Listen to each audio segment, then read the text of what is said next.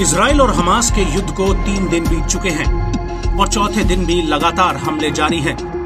हर तरफ़ तबाही का मंजर है। लाशों के ढेर में हर कोई अपनों को तलाश रहा है। चीख पुकार के बीच भी धमाकों का शोर थम नहीं रहा है। हमास आतंकियों के हमले से इसराइल में भारी तबाही मची है।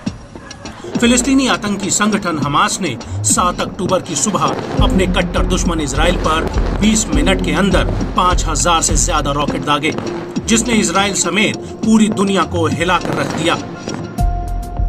लेकिन हमास के इस भीषण हमले के बाद इसराइल भी चुप नहीं बैठा और लगातार दो दिनों से गाजा पट्टी और फिलिस्तीन के इलाकों में बमों की बारिश की जा रही है।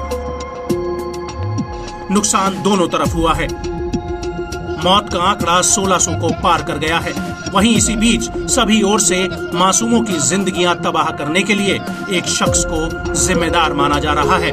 उसका नाम है Mohammed Deif. Mohammed Deif Hamas के मिलिट्री विंग का चीफ कमांडर है। साल 2002 से डायफ हमास की सैन्य शाखा का प्रमुख है। एक रिपोर्ट के अनुसार डायफ का जन्म के समय नाम मोहम्मद दीन इब्राहिम अल मसरी था। इसके पहले भी डायफ का नाम इसराइल में आतंक फैलाने के मामलों में आता रहा है।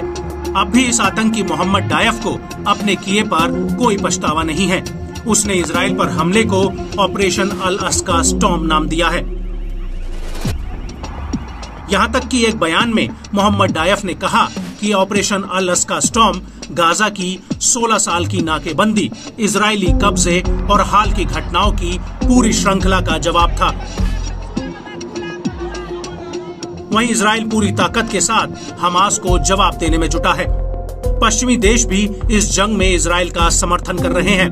दूसरी ओर, मुस्लिम देश फिलिस्तीन के हक में खड़े हैं। ये सभी देश लगातार दोनों पक्षों को जंग रोकने की अपील कर रहे हैं।